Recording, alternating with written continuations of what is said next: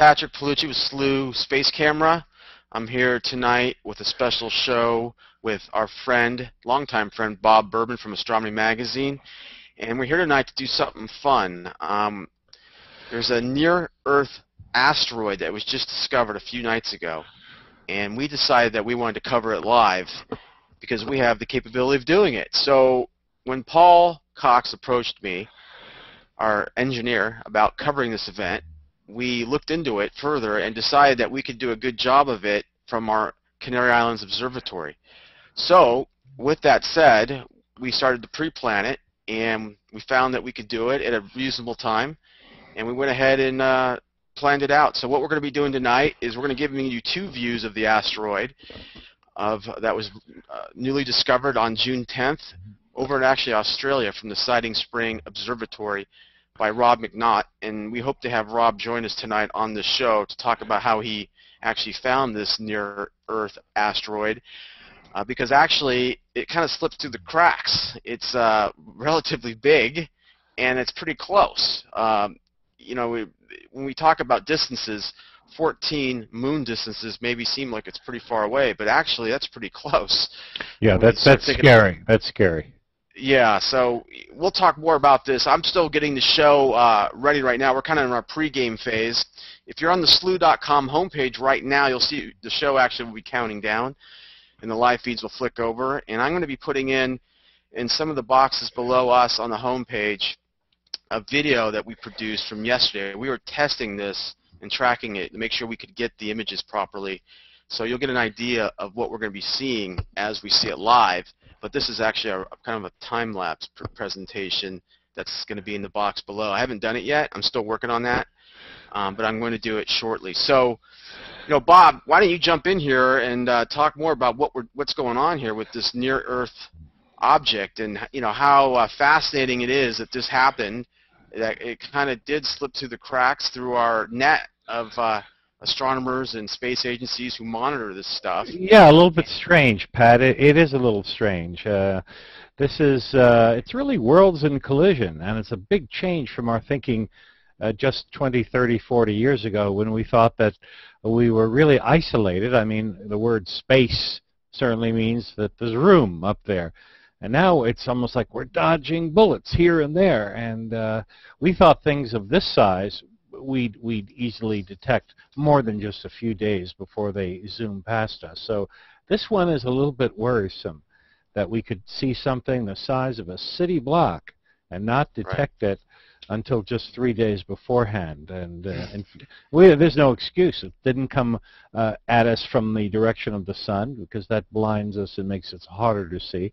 This is coming from almost the opposite direction. So it's uh, uh, you know, we'll be talking about it, but this is the kind of thing that can change life on Earth, or at least on sections of Earth. Yeah, I mean, it is pretty scary to think that that if this thing for some reason did become into, you know, into the path of the Earth, that we could do nothing about it. you know, that's the, kind of a scary thing too to think about, and I think that's something we got to talk about as well uh, on the show um, today. Right, right, right. That's a generally uh, a good, slightly frightening topic, but it's not a question of if. You know, it has happened before. It will happen again. And when we look at objects like this that are passing only one-tenth the distance between us and the nearest planet, one-tenth that distance, it shows that, boy, it really will happen again, won't it? Right. I I know that's uh, stuff you don't think about, but unfortunately, I, I guess we have no choice. So I'm uh I'm gonna put up this other video on the home page. If you're seeing this, you may have to refresh your browser. I'm gonna see if it goes in. Hold on one sec, Bob. I gotta. Sure. I'm just gonna give people a little preview. Um, okay. If you do oh, that, while you're I doing that, I'm gonna refresh monitors here too. I'll be back in just a moment. Okay. Yeah, no problem. No problem. Yeah, so I just, if you are on the slooh.com homepage, I just threw in a lower box there below where we're hanging out uh, a little time lapse of the asteroid itself flying down uh, through space. You could see it.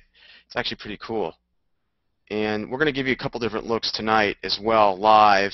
And I recommend you also look at the middle box where it says LZ1 asteroid simulation. Um, it gives you a good idea of the, the orbit path of this particular event, as well as it talks to you about, uh, we, we were provided from our engineers, Paul Cox, how we're going to vi uh, visually see this tonight with our scopes. So uh, it should be interesting. Bob, are you back, or is that Paul? Oh, Paul's here. Yeah, Paul. Hi. Hey, buddy. How are you doing? Yeah, okay. We've got images going up. Um, if I concentrate once every minute, all right? So. Okay, cool. I I went ahead and put your YouTube video re time lapse in. Uh, I thought that was a okay. pretty good okay. look that you did yesterday. Um, okay. I, I apologize for taking your Meade presentation down, but we'll we'll direct people to the. Yeah, don't we'll, worry. we'll talk to. Uh, uh, we'll let people know where they, they can see it. Put put it up. no, we'll put it up on the homepage afterwards. Yeah, absolutely, uh, exactly. That's a good Uh, idea. listen, just just so you guys know, um, because of the cropping on T1, it's not actually showing up yet in Okay. those images. But when we do see them, it should be a faint red, green, blue dashed line coming up from the lower left of the image. And it should be cutting up and across the image. Okay. Okay. Okay, cool. So, uh, Paul, we're on live right now, just so you know. Um, and we are getting set up here. We're counting down. We're at T minus 10 minutes for the asteroid hunt show that we're producing. Paul, are you able to stay on, or do you have to work to do in the back end? I'll, I'll be here to report any problems, but I'm going to be very focused on what I'm doing. Okay, no problem. Um, so what we're going to do here, guys, tonight is we're going to attempt to track this. And Paul actually was doing some testing last night. And I, if you're just joining us right now, you can see that test, uh, the lower box, the very low uh, bottom of our page on the dot .com site, and you can see, you know, the time lapse of this asteroid flying through the sky. So Bob, why don't we talk more about as we get ready for this uh, about 10 minutes before it actually starts up? you know, do you know how people go about actually tracking this kind of stuff? I mean, how do you even know how to do it? Well, there's different methods. One is by taking photographs of the sky or electronic CCD images of the sky over periods of time and then seeing if anything changes. In the old days, they used a, a blink comparator, sometimes called a blink microscope, which showed if anything uh, moved in the field of view. And a method not too dissimilar from that is still being used. We'll see when uh, Rob McNaught comes on and the Discover, who we're expecting a little later on tonight to join us. And uh, we'll see uh, we'll see exactly how he discovered this one. There's some automated uh, discovery methods as well. Uh, that's why this is a little bit odd because this is five times larger than a football field. This is the size of a city block, quite a bit bigger than the last near-Earth object that uh, whizzed in. And uh, as we'll be talking about on the show, it has changed the life of the planet. The reason our planet looks the way it does now is because of these near-Earth objects actually impacting with us. I'd also like to talk about something that happened almost on this date, on June 30th, uh, uh, just a century ago. Uh, in 1908, when an object of this size, the last time one actually uh, impacted at least our atmosphere and did uh, widespread destruction, and what would happen if that occurred today. So uh, these are important uh, issues. is this is this going to raise red flags at all with anyone, uh, any agencies at all, because of uh, this kind of slipping through the cracks, or is this to be expected given how we track these things? Well, people in the business call these uh, low-frequency, high-impact events, sort of the way giant solar storms do. In 1859 and again in 1921, there were major events on the sun that would have destroyed our entire electrical grid to the tune of one to two trillion dollars. Now, in between, many decades pass and we don't see events like that, and people don't worry about them. So we're talking about low frequency, high impact, and that's just the kind of event that does not get the public's attention because of that low frequency part. The high impact, uh, that does. because right. uh, people wonder, whoa, what would happen if? But they still relegate it to uh, such an unlikely possibility that usually government agencies don't move on those kind of things until they happen, unfortunately. Right, right. Well, it's going to be exciting to see. We are going to definitely. Uh, uh, Mr. McNaught has committed to come on, so hopefully we connect tonight for the show, so we can get his thoughts. Because he's not just a this guy does it basically for a living. I mean, he's I think he's discovered over 70 or so uh, near-Earth objects, comets, asteroids, if, things like that. If, if I may, he's actually um, one of two people who work at the Siding Spring Survey, and the Siding Spring Survey is the Australian arm of the Catalina Sky Survey. So that's why those guys are, are down there doing the work that they do. I think it's part of um, Arizona University. Uh, excellent. And that disembodied voice, that's our own uh, Paul Cox, who is our, our uh, chief engineer. Is that his official title, Pat? Sure. I, I, I He's been promoted tonight. He's, he's been promoted tonight, yes, that's fine. Uh, we can call him that. Uh, I like that title. Um, so anyway, we're down to T minus six, and we will start showing you some live shots of the asteroid shortly. Um, we are hoping to have uh, Robert McNaught on tonight so we can discuss how he tracked this and, and right. how he goes about doing this. That'd be and fun. we'll talk about asteroids. In fact, I have a piece of an asteroid, and I should actually uh, have it ready to hold in front of the camera. So uh, let me get that. Uh, you know, usually one says, I'm going to collect my thoughts. But here I'm going right. to collect more than my thoughts. I'll be back You're in a moment. You're going to collect an asteroid. Yes. No problem. No problem, Bob. Take your time. Um, so anyway, if you are new to Slooh, we actually do these events frequently of all types. We've done the big ones like the annular solar eclipses and the transit of Venus, of course.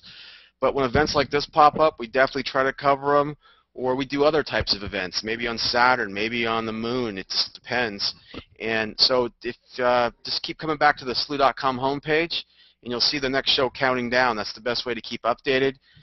You could also follow us or you know uh, circle us in your G Plus, or follow us on Twitter, or like us on Facebook. Those kind of things. We do send out notices that way. And if you are interested, uh, click on that membership link. We are actually having another special promotion tonight. That's we weren't even planning. Uh, we did this promotion on the Transit of Venus. You actually get a free telescope today if you become a yearly or two-year member to Slooh. So something to consider. Yeah, it's a it's a cool scope, and Paul actually produced a a 10 minute video uh, as opposed to the one I was asking. But uh, if you, it, we'll post it back up here on the homepage. But you can go to our YouTube channel and find it. It's there. And you can learn more about the telescope itself.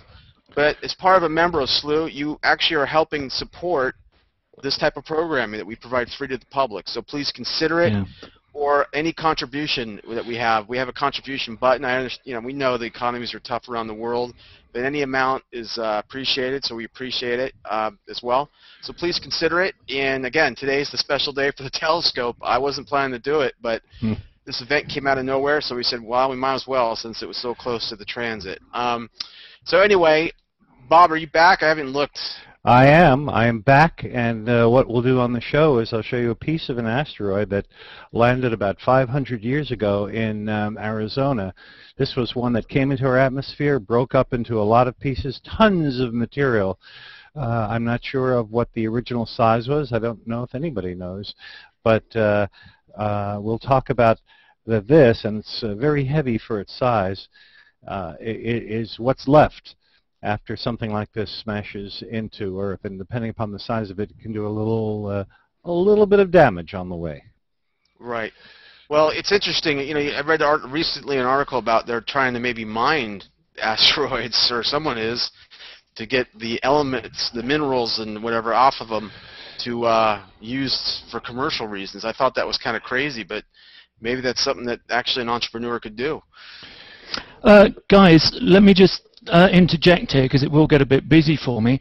Um, we've got two image streams tonight. We've got the uh, high magnification one where the asteroid is actually, we're tracking the asteroid, that's a pinpoint with the stars streaking behind. And then we've got our half meter telescope oh, uh, taking some... Oh, I got... Taking some... Robert, uh, Robert McNaught's calling me, so I'm gonna, I'm gonna, I'm gonna answer it, okay? Okay. Go ahead, Bob. Yes. Uh, and oh, uh, I was just going to say that. Hi, uh, showing Robert. up Is that you? In these half-meter images on the right. Robert, you there? Side of the image. Robert, can you hear me? Guys, go ahead and talk because I'm going to be trying to get Robert on. okay. Uh, go ahead, Paul. Continue. Uh, yeah, it was it was only just to say that we've been keeping our eyes open um, on these half-meter Okay, images I'm, I'm waiting. for, for the asteroid to actually appear into the image because we've centered those images tonight between the asteroid's path and Barnard's galaxy, which are, which is on the left of the image. So people on the half-meter uh, telescope images need to keep their eyes open. Robert, can you hear me? Red- for a red, green, and blue Hello? line You there? on the right-hand side of the images. Let's see. Good. Good. You can, hear me okay, Robert, or no? Uh, let me see if I can chat him. Hold on. I just heard him a little bit there, Pat. Yeah, we just heard him say hello. You can hear him? We heard him say hello. So, yeah. You hear me, Robert? You hear me, Robert? Yes, I can hear you now, thanks. Okay, great.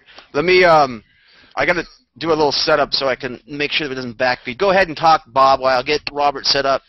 Yes, well, what we have now is the discoverer of the this near-Earth object, this asteroid, who discovered it only a few days ago, and uh, a little disconcerting that something this big uh, should not have made itself known until just a few days earlier. So it'll be very interesting to hear exactly the process uh, that uh, uh, Rob McNaught used in uh, finding this, and he's becoming pretty uh, well known now for doing this. So whatever he's doing, he's uh, he's got it down. He's he's doing it right, uh, and uh, ho- uh, we're we're glad that he's on our side and not on the other side. You know, the alien side that wishes Earth to be destroyed, because uh, So, we, Bob, uh, can I jump in here really quick? Can you? I'm, I'm just doing a quick sound check as we get started here. I got Robert not on. Uh, Robert, can you talk? Please talk for a quick second here. Yeah, one, two, three, four, five, seven, eight, nine, yeah, yeah, we hear him fine. Yes, we hear him just fine, loud and clear. Okay, um, I'm just going to go ahead and get it started up, Robert, since we're all here today. Uh, my name is Patrick Paolucci with Slooh Space Camera. We're here live to do a live coverage of the asteroid LZ1 that Robert McNaught actually discovered just a few days ago. So we're, we're privileged to have him on with us tonight here as we look at some live images. I believe the show has probably already started on the homepage. Yes, it has. And uh, we have here also Bob Berman, who's a longtime Slooh friend, but most notably out of a writer, uh, an astronomer from Astronomy Magazine. And we have Paul Cox with us, who's the chief Slooh engineer, I guess is his new title. And uh, we're happy to have him on as well. And um, so, yeah, Ro- Robert, we really appreciate you taking out some time with us today to talk about your discovery as we look at it live. In fact, we got a live shot of it right now on the homepage of slooh.com. If you uh, guys go there, you can see this uh, presentation live. Um, you know, Bob, I don't know if you got any quick questions for Robert as we get started, but I'm sure everyone out there would love to hear how you actually found this asteroid. Yeah, well, that's my question too, uh, Rob or Robert. Uh, how'd you find it? Uh, well, I'm, I'm doing um, a survey specifically to find uh, e- uh, near-Earth asteroids and, and near-Earth comets. The um, telescope itself is um, 0.5 meter Schmidt. It was, um, it's called the Uppsala Schmidt because it was built at the University of Uppsala in Sweden and uh, originally um, designed to go to Mount Stromlo in Canberra, but uh, after the uh, uh, city grew and the light pollution became too much, it came up to Siding Spring Observatory in northern New South Wales in 1980. Um, the uh, it was uh, originally photographic, but the University of Arizona um, got a, a, NASA grant to uh, uh, upgrade it um, uh, 4x4K CCD and um, uh, digitize the uh, Ariane deck. Um, they- they'd already got a successfully operating system at the Catalina Sky Survey using a 0.7 meter Schmidt. Um, the smaller Schmidt would give us uh, um, additional latitude coverage and uh, additional longitude coverage as well. So the discovery is made in America can be followed up um, just uh, several hours later from from Australia. Um, so the, the University of Arizona had developed all the software and basically with the hardware up, um, hardware upgrade, all the um, software installed and it's uh, operated ever since. And uh, was this an automated thing, or did you uh, uh, was the image taken earlier, or did you find it in real time? No, it's um, it's a semi-automated survey. We um, searched into um, a very low noise level in the images. Uh, four images are, taken um, about 15 minutes apart. Um, in between taking those images at the same field in the sky, um, it's doing adjacent fields. So maybe maybe over the course of an hour, it'll do about uh, 20 adjacent fields. Um, so we get uh, uh, uh, four images of each field, about 15 minutes apart, and the software um, extracts out possible moving objects. The human eyes are very good judge at deciding which ones are real and, and which are just noise. Um, so so far, there's been uh, no surveys had a, a very good automated uh, um, uh, algorithm to pick out the, the faintest objects, and the, the, human eye is able to at the moment make that judgment better. Uh, now, um, is, is, this the largest uh, one that you have found near Earth asteroid? No, actually, it's not. It's not particularly big. Um, it's just happens to be very close. Well, not very, not even very close to the Earth. Um, it, it's it's pretty close to the Earth, and it's a reasonable sized um, near Earth asteroid. No, I found I found some up in the several kilometre size before. Uh, mm-hmm. Going back a long time, there's uh, probably none that size left on um, uh, short period elliptical orbits. Yeah, so what you know, we're looking here on the Slooh.com homepage. You can see the asteroid actually. Uh, Paul is imaging it right now. It's what we're Paul. If you're on, can you explain what we're looking at right now?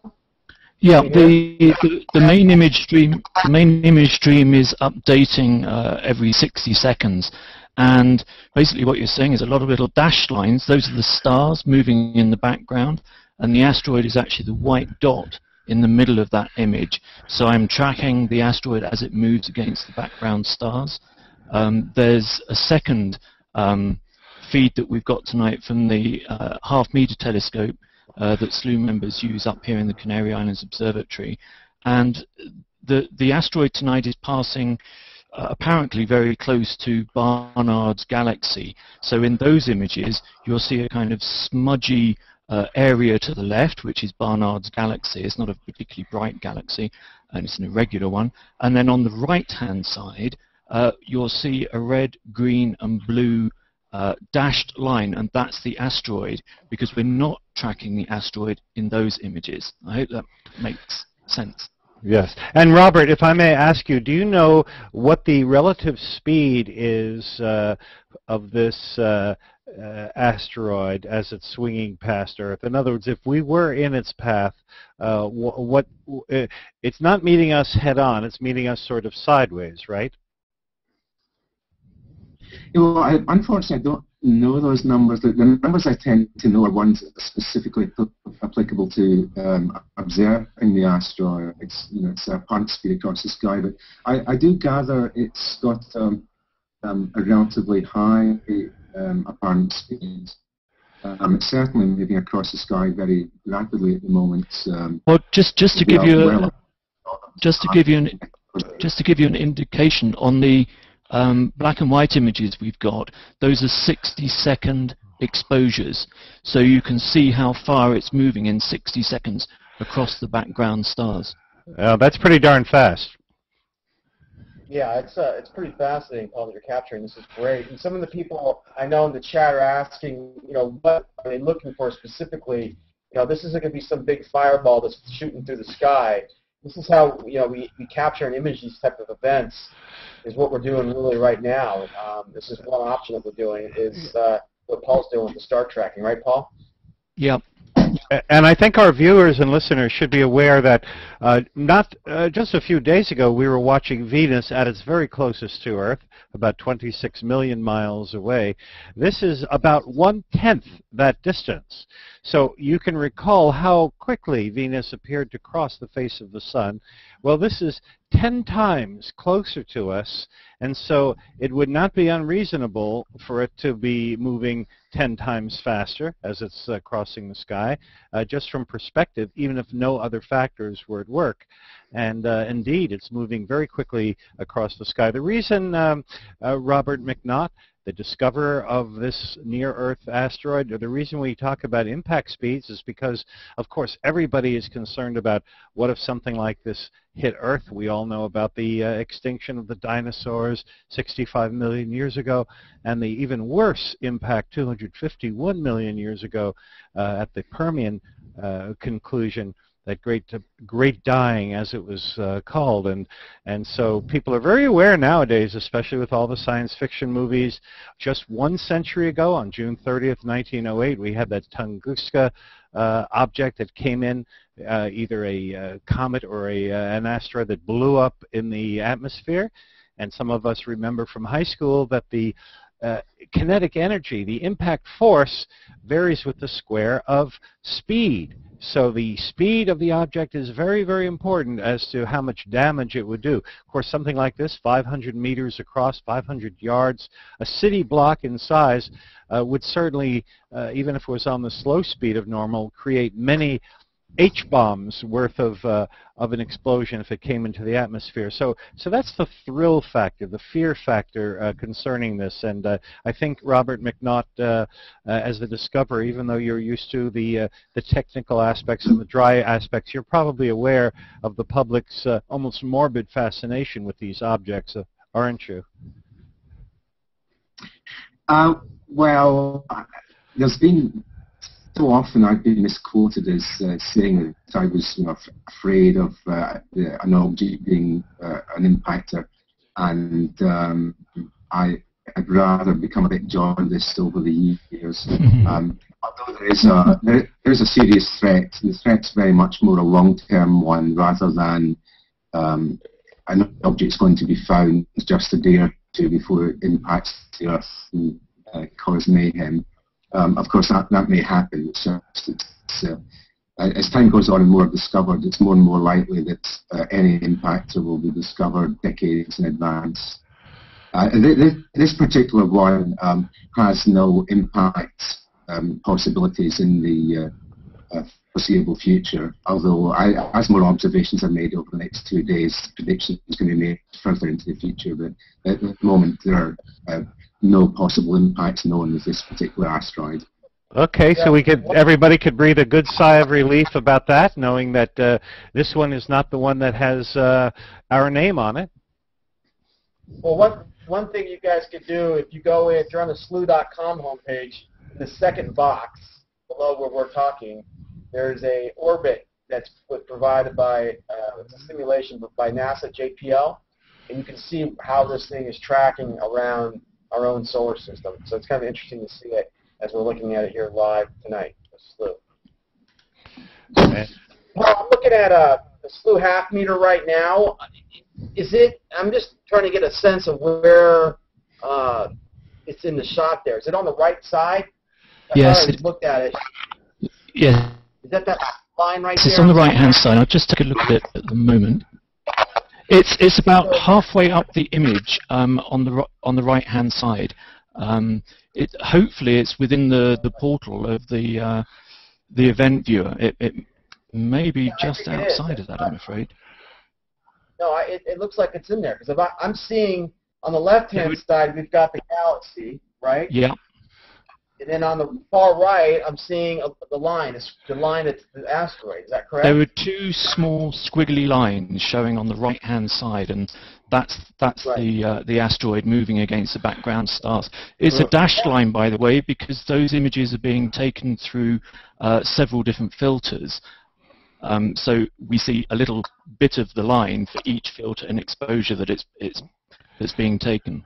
Excellent, excellent. And I guess uh, we should all be aware that uh, this is no slouch uh, of an object, that galaxy either, even though it's not a major, beautiful spiral galaxy, the kind that takes our breath away.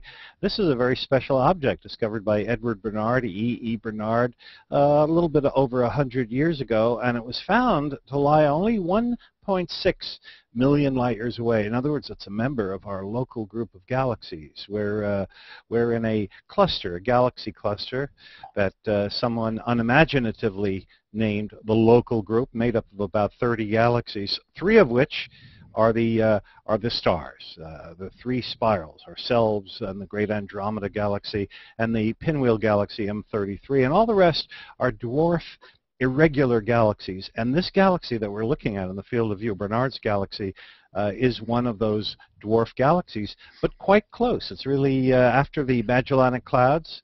It was the next galaxy to have its distance measured, and uh, we, we found out it's very close. It's only uh, uh, made of uh, perhaps 100 million stars, which may sound like a lot, but uh, in our galaxy there's over 100 billion stars. So we're talking about a little dwarf galaxy with uh, less than 1% of the material in our galaxy. So this uh, asteroid is way, way in front of that, uh, passing just one-tenth the distance between us and Venus, the nearest planet. Very exciting to be imaging this live.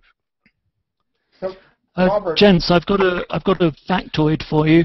Uh, you want to know how fast things, this thing's going? The relative velocity is 16.99 kilometers per second.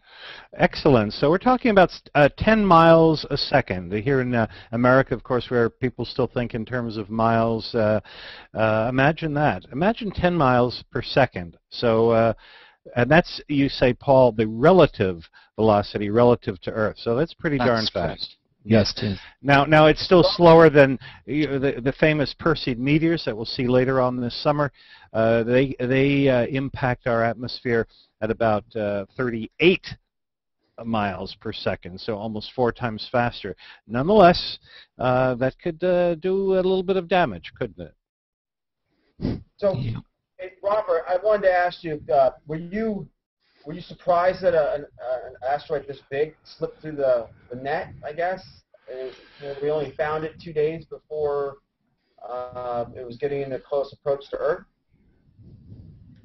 No, actually, there's a couple of reasons why not.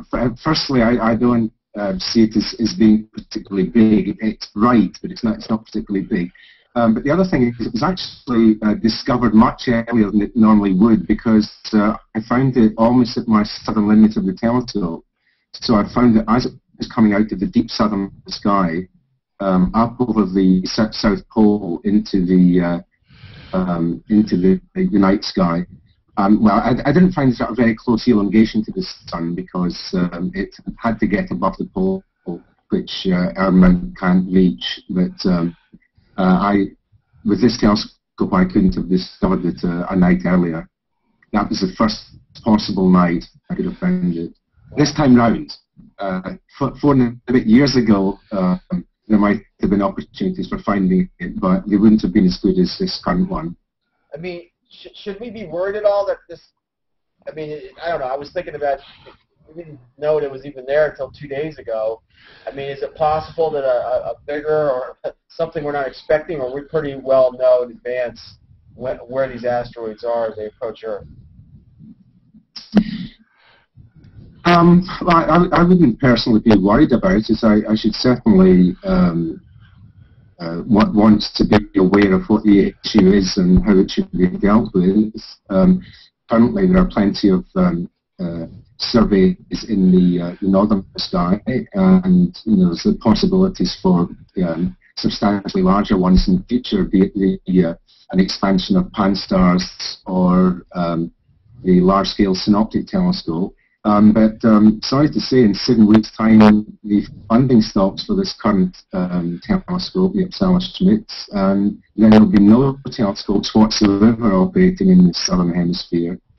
Um, representations are being made to the Australian um, uh, federal government Minister of Science um, because there are no direct funding, competitive funding sources we can apply uh, apply to uh, to fund the project. Um, previously, we've funded by NASA grant, uh, which finished last year. Uh, um, that was through the University of Arizona. Um, but um, you know, yes, uh, yes, I, I hear, hear, what you say. That that is a shame, but you can understand it. Uh, the, that you know, funding is uh, funding is a little tight uh, because uh, you know what's more important: looking out for these objects that can smash into Earth, or subsidizing uh, the tobacco farmers. I, I think uh, we have to keep our uh, priorities straight. And yes, exactly. No, we rec- we'd rather bail out banks. That's what we'd rather do. And, it should also be uh, mentioned, you know, uh, people, of course, are fearful of these things. Uh, looking back to Tunguska just a, a century ago and these uh, great extinction events, but there's a lot more to it than that. The objects that hit us, uh, this, for example, is a uh, is a piece of an asteroid that actually landed in South America in Argentina about 500 years ago. Here's another piece of an asteroid that came in about 150 years ago in South Africa. And uh, there is some thinking that perhaps, just perhaps, the amino acids that are the building blocks of life, and perhaps even uh, primitive uh, bacteria, who knows, may be hitched rides on these things. And uh, that panspermia idea, which is that planets may get seeded uh, from space by intergalactic, or interplanetary rather, not intergalactic uh, wanderers, and perhaps life on Earth did not have to start from scratch. Perhaps uh, the, at least the building blocks of life uh, can arrive here on uh, bits of comets and asteroids. So there's more and more thinking that the solar system, at least, and perhaps even interstellar uh, travelers, can uh, uh, there's more connectivity than we ever thought. We used to think of our planet as this Island Earth, as that was the name of the science fiction movie of the uh, of the 50s, and now we're really seeing uh, the connectedness between things, uh, both for better and for worse. So, Robert, uh, before we let you go, do you have any final thoughts um, about your discovery? Uh, well, I'm glad it's uh, I'm glad it's being taken to educate the, the public and students about the issue of near-Earth asteroids. Um, um, I, mean, I, I, have to accept it is a, a, an unusual event in that this is a very bright um, object. It's been a long time since I've uh, imaged a newly discovered 13th magnitude um, asteroid. Um, beyond that, I, I, I, would probably caution people not to take um, uh, threats of um, impending uh, doom too seriously unless they come from the, the actual groups that make calculations. That's the uh, um, Jet Propulsion Laboratories Near Earth Object Group who make these um, uh, predictions, and the, the, University of Pisa in Italy, the um, collaborators in Spain who, who independently make um, impact calculations. Um, unless they've actually come up with a, a possibility of a, of a, collision. Oh, actually, I should add there are one or two amateur astronomers who can who can do this as well. It would be remiss not to, to include them. But, uh, um, unless it's been uh, um, you know, peer reviewed by um, people that have put in probably thousands of thousands of hours of research to making these calculations, uh, the software yeah. to make these calculations. Now, now, Rob, uh, let me ask you. Uh, before you go, and the connection has not been great for us, but uh, let me ask you, you mentioned before how bright it is. I know this object uh, appears about as bright as the planet Pluto, roughly uh, that is not an easy object, but you've mentioned that it's uh, that it's brighter. I think you said it's brighter than you expected. Does that mean for a 500 meter object, it is bright for its size. In other words, it's made of a, uh, a shinier material with a uh, with a higher albedo than most asteroids. Would that be fair no, to say? As far as I'm aware, nobody has done any um, observations to determine its albedo. Um, uh, generally, those sorts of observations um, aren't made on the fly. They're normally made for um, uh, known asteroids, and people apply for telescope time to specifically to observe them. It may, it may be somebody has made those observations, but I'm not aware that the albedo was known. So just choosing the default range of albedos from you know, darker asphalt to, um, to much lighter, um, it, it comes out of the order of you know, one to several hundred meters in size. it's really just a ballpark figure at the moment. I Um, see. I see.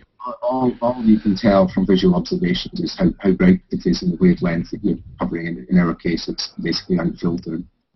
So, Okay. Rob, I, I really appreciate you coming on. We're almost, the show's going to be done in here in about five to ten minutes. Um, I'd love to have you back on on any comet or asteroid events. If you would love, if you would do that, we would appreciate it. I sure yes, I'd be happy to do that. Be- Bear in mind, I'm an observer rather than uh, an expert in the objects themselves, but you know, I'd be happy to help out. No, And, it. I'd love and next time we will send a young woman to wake you up personally uh, in bed there rather than you having to set the alarm. we got to get you Actually, on I tried, Oh, go ahead. I tried to have a short nap, but um, I've got a, a live trap for. Um, I, we don't have mice in the office. They're called Antechinus. It's a, a small mouse-like object. It's carnivorous, and um, I caught one in one of the traps. And it, it was rattling in the trap for the two hours I was trying to catch a nap before this. very, very, very sharp at the moment.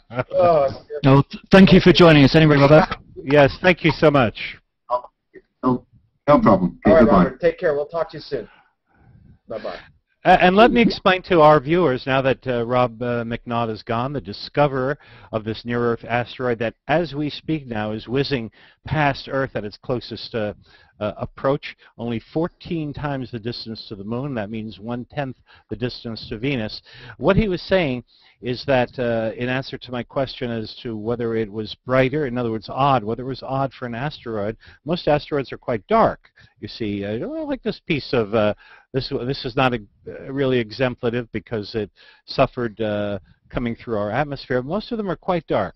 And he was talking about uh, perhaps the brightness of asphalt, uh, a parking lot. They're, they're, they're dark objects. However, there are some asteroids, like Vesta, that are, that are quite shiny, that look like vanilla ice cream. So the question is, why is this one so bright at uh, 13th magnitude? It appears about as bright as the planet Pluto through any telescope, which is certainly not bright, but it's not uh, impossibly dark. And uh, so the issue is, uh, how does its size compare to its brightness? And his answer was, nobody knows. And that the size estimate is based solely on its brightness. We assume it's a dark object, and therefore, to be as bright as it appears, it must be a few hundred meters uh, across. In other words, probably the size of a city block. And beyond that, we don't have any uh, more precise information because, after all, the object was only discovered a few days ago. Yeah, I mean it's uh, it's fascinating to me that he, we, that this happened so quickly. I mean he didn't seem so worried, but I was kind of worried that we didn't know this thing even existed until two days ago, and it's pretty close to Earth. Uh, now, Pat, did he say that that they had caught a carnivorous uh, uh, pest there in a trap, and he was trying to get a nap there at the observatory, and it was uh, yeah, rattling around in the trap? What what kind of Yes. animal did he say? Did you catch that, Paul? It's it's it's like a carnivorous mouse. I, I mean, the, the Aussies the, the Aussies do one thing really really well, and that's nasty insects and all sorts of other animals. Yeah. So uh, okay. yeah. Does that mean that if you get if there's like ten of them, they they it's like piranhas? They Well, you- attack you Gang at up on night. you. Well, you'll see, Pat, when you join us for Slooh's coverage of the total solar eclipse this November, and when you uh, come and join us, you'll see these uh, these creatures for yourself. Well, I would He's love definitely I'm not gonna- going now. Yeah, I'm gonna bring a lot of uh, bug off spray and traps. Um, hey, before we uh, get off here, we got another five or ten minutes. I extended the show a little bit uh, since we were running over, so it won't. We got another ten minutes or so. Um, but programming like this is supported by membership, so please consider it. You just click the link on the top of the homepage. We actually have a special offer today. Today only. We did this in the Transit of Venus, and this event came out of nowhere, so I'm just going to extend it for this event. Uh, we're giving a free telescope away if you become a yearly or two-year member to Slooh. So just click the membership link. Uh, if you want to learn more about it, Paul actually did a demo of it on our YouTube channel. So you can go to our YouTube channel, the Slooh On Air Video YouTube channel, and you'll can learn more about the telescope it's, itself. And we'll leave the offer up today. So if you sign up today for Slooh, you get that telescope. If you can't afford it or your budgets are tight, please consider a contribution. It really helps us, you know, track these guys all over the world and trying to bring you fascinating looks at space. We do a lot of this stuff. Um, we do all, all obviously the bigger stuff, but stuff like this or other shows on the planets, galaxies, comets, a lot of stuff that happens on Slooh. And you can always come to the homepage and learn more about uh, the next show. So, Um, Bob, Pat- I'm going to look Pat, at the. could I just- oh, go ahead, Bob. Pat, could Yeah, I just ahead, add to that um, that that promotion isn't just about having uh, that particular free telescope along with your membership, but it's actually controlling the telescopes that I'm using this evening. You know, from your PC at home. That's really the core of what Slooh is. It's you being able to control these world-class telescopes. You know, on top of a volcano. I'm I'm at a world-class observatory site in the Canary Islands at the moment, and you get to control those telescopes and get and get to see a beautiful uh, full color natural color sharp images of Saturn with ring within ring and spiral galaxies with their cobalt spiral arms and uh, and all of that in uh, five minutes because of the patented technology. I want to take this moment to thank the Slooh members who have willingly given up their reserved time on the telescope tonight to make this special coverage of the near-Earth asteroid visit. We've uh, been privileged to have that discoverer of the near-Earth asteroid on tonight, Rob McNaught, McNaught and uh, but we want to thank the members who uh, who yielded the telescope so we could bring you these uh, these close-up images of it. And, uh, Absolutely. Thank you very much. and uh, one more thing, asteroids, if you had a piece of an asteroid, as this is, this is one that actually visited us about 150 years ago, one of the characteristics of asteroids is there's a lot of iron in them, so that if you have a magnet, uh, it'll pull on a magnet very strongly. So if you ever have a piece of an asteroid uh, uh, in your driveway and you wonder if that's a real asteroid or not, the first thing you should do is test it with a magnet and see if it really uh, was a meteorite that came from an asteroid. Many of them do. Most of them do. So, Bob, I'm going to monitor the, the chat, the Slooh uh, conversation section really quick. If someone has a question for Bob or Paul or myself, please do it. Um, the largest, yeah, you, you, they're asking about the dot. It, exactly. You might want to clarify that what we're seeing here. If you're looking at the asteroid tracking, you can see it. You know, Paul has been imaging this, uh, and we're throwing up the recent images every like 30 seconds to 60 seconds. But that dot is actually the asteroid traveling through the night sky, and, and those lines are the stars. That's So- it. That's it. We've been asked uh, uh, imaging it in different ways, and that one way is uh, really seeing it every minute, updating it, and it is whizzing. Boy, it's whizzing at 10 miles per second, uh, passing way in front of that galaxy that you see, Barnard's Galaxy, one of the nearer galaxies to us, a little dwarf galaxy. You wouldn't write home about it. It's not a, a particularly beautiful galaxy, and uh, there is, but galaxies are among the farthest things. And here we have one of the very nearest objects ever to pass near Earth. You know, in the category of the uh, the top uh, uh, hundred objects that have come closest to us, yet without hitting us. Uh, everybody knows about Apophis, which is another asteroid that is slated to arrive on Friday the 13th of April in uh, 2029, and that's going to come so close it's going to pass between us and our TV satellites. That's how close that's going to come Oh, and whiz past us. And that's going to be bright enough. That's third magnitude, Pat. That'll be bright enough to see easily with the naked eye, and we'll actually see that slowly crossing the sky. And then six years later, it's going to come around again, and nobody knows quite how Earth's gravity will have changed its orbit, but there is a tiny chance, one in a quarter million, not not not anything to worry about, uh, that that could actually uh, uh, impact us. And that's a asteroid about the same size as this one that we've uh, just discovered Now- a few days ago. one of the questions in the chat room was when is this thing going to come back? And I, if you look at the the box in the middle, right below where we're at, talking on the Slooh.com homepage, there's a if you watch that little simulation, there's a orbit chart. It'll simulate where it goes. It whips by Earth. I believe it's going to come back in 2016. I thought I read somewhere. Did you guys You can actually- the top of your head? Patch, you can actually go to the JPL Horizons website, and it's their orbital simulator. That's how I made that little simulation. And you can you can go there and you can advance the time by days or weeks or months or years, um, and actually see the position of this and a whole stack of other um, near-Earth objects as You- well. you know. of course. Oh, go. go I'm sorry, Pat. No, I'm done. No, I. Oh, you're done. Sorry. Um, you know, people. I noticed in the chat room a little freaked out that this wasn't discovered till two days ago, and I kind of, if you talk, if you listen to what Robert was saying, McNaught, who discovered this, he mentioned the budget cuts that are happening, Yeah. and it looks like a lot of their funding were coming out of NASA, and NASA, of course, is getting its budgets cut. Well, I think the, the, the important aspect there, Pat, I think, is that this was the only, I understand, uh, survey of its kind in the southern hemisphere. So, I mean, Bob will be able to tell us what proportion of the sky. I don't think it's exactly half, but um, you know that there's a large proportion now of the night sky that's just not being surveyed for this. One kind of one object. quarter of the sky. One quarter of the sky is One not quarter. not will not be looked at at all. So if the an object comes from that direction, uh, we won't see it coming. On the other hand, since we don't have any means uh, available to uh, stop any such object, uh, maybe we're better off not knowing. That's a good point, Bob. and on that cheery note, yeah, yeah, right. We've got enough to worry about in our lives. We've got to worry about that. So, uh, Uh, yes, you can I notice just in the- point out uh, go ahead. Uh, sorry, I just need to point out to people that um, if they're looking at the half-meter telescope images now, I'd actually set up that view uh, so that we would see the asteroid cross over the whole of that field of view in the half an hour show. So it's now not visible in that view. It's actually gone off the top of the image. But Okay. we've still got in the uh, the asteroid tracking uh, view, we've still got the asteroid really nicely centered, still whizzing past all, all of the stars in the background. Wow, that was quick. That's quick. This is a fast-moving object.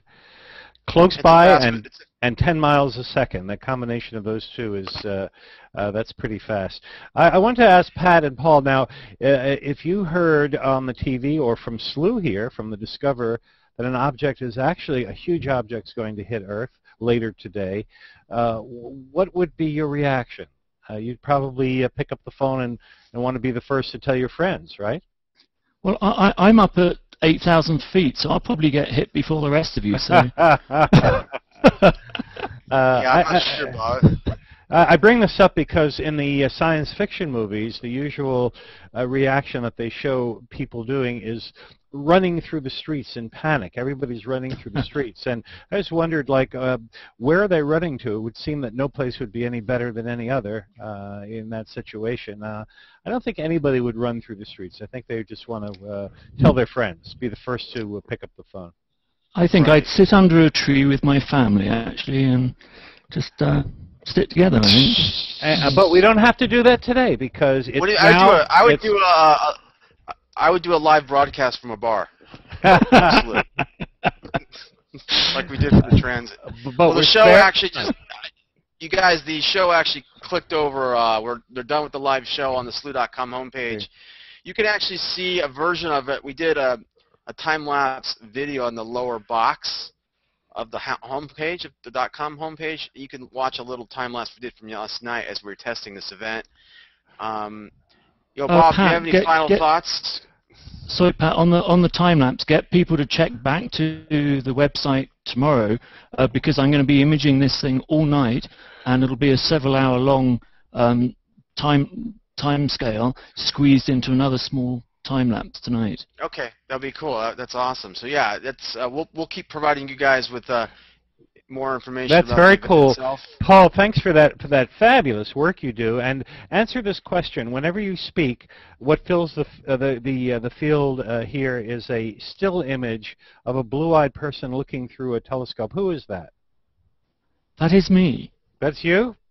Okay. That is me. I, I'm using. I, I use two laptops for these things. So this the small laptop that I'm in the Hangout with doesn't actually have a webcam. Um, I'm using my larger laptop to actually run several PCs um, at the observatory uh, remotely. So, but yep, that is me, and it, it's not an old photograph either. So, That's very cool. Very cool. Yeah, you look like you're freezing your butt off. You- You're like wrapped up to the like an it gets like an cold Eskimo. up here, that's for sure. Like an Eskimo. So guys, uh, I guess I don't know, Bob. You have any final thoughts? But please, uh, guys, if you're on the homepage, at least consider membership for Slooh. It helps support the broadcasts that we produce. Uh, membership has its benefits, I guess you'd say. You get to control telescopes, and in fact, you get a free telescope today if you sign up for a yearly or two-year membership. and take pictures. Take amazing Yes. pictures. Yeah. Amazing Awesome. pictures. Share them with your friends. Uh, interact with a community of space enthusiasts worldwide. As you can see, we uh, our guests that we talk to are all over the world. Um, our Transit of Venus broadcast, we had guys in Norway, the UK, um, in a bar in Michigan, in New York, LA. I mean, we were all over the place. So, uh, and that's really the membership. That's what it is. It's all people all over the world enjoying space. So please consider it. And um, Bob, you have any final thoughts before we end the uh, broadcast tonight? No, this was fabulous to watch this asteroid. Uh, thanks to Slooh, thanks to Paul's great engineering, watching this asteroid whiz past Earth. We were here for the closest approach. It was only discovered a few days ago. Seeing it uh, zoom past at uh, 20 times faster than a high-velocity rifle bullet, and to have the Discoverer on as well live, roused from sleep while a snarling a little animal was rattling around in the uh, in the in the trap that they've just uh, trapped it in. A man-eating I mean, mouse, man. yeah, I, yeah, yeah, yeah. You you can't make this stuff up. You can't make this stuff up. I gotta see this man-eating mouse. Man, we gotta do a hang. I'm gonna get. We gotta get him on Hangouts. Like okay. you can should see show the man-eating mouse. I want to see All this right. thing. So, So- very good. All right, guys. Uh, it was fun. Let's Yes. connect. Uh, the sh- next show you'll see is counting down is Paul. I hope Paul you're going to do your how-to show. Is that Saturday night? Uh, how-to Slooh Yep, show. uh, it, it, it was actually uh, organised for last night, but uh, then this visitor from uh, the outer solar system came in and, and decided to put it off. So yeah, yeah, come. if you guys are considering membership, it's a good good time to come back to the Slooh homepage. You can check out. Paul's going to give a demo of Slooh, how to use it, what people can do, and um, it should be fascinating. He's he's great at it. So, all right, guys. Well, thanks for coming. Okay, um, my please pleasure. consider membership, and uh, that's it, guys. I'm going to check out and go get some dinner. Good night. Okay. Thanks, thanks to all the Slooh members out there. Yes, Bye, yes. guys. Thank you. Bye, Good guys. night. Thank you. It really will happen again, won't it? Right. I I know that's uh, it's stuff you don't think about, but unfortunately, I, I guess we have no choice.